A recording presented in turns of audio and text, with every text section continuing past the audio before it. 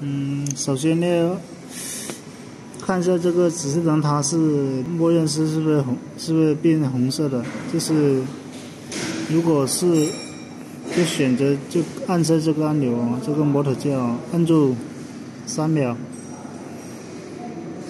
出现这个 S E L 啊，然后再按下这个 T E A C 这个键，按一下，再按一下，出现这个 A C。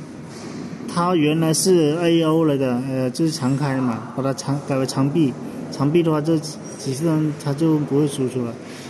然后选完之后呢，就按几下退出，再按一下，再按一下，再按一下，现在退出了，退出了，这指示灯不亮，不亮的话，然后呢，就选择高度。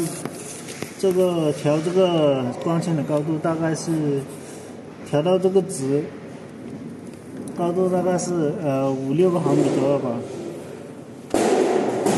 然后对着这个对着这个白色的色标，这个白色边看一下这个红色值，它是显示多少？假如是显示一千五，假如显示一千五的话，你就把这个再按一下这个上下键。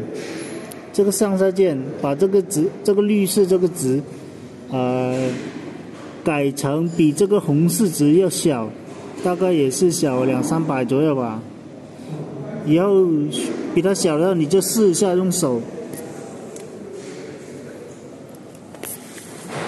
就是用手这样子，呃，拉动那个膜嘛，你让你发动机那个膜嘛，你看这个红这个指示灯嘛。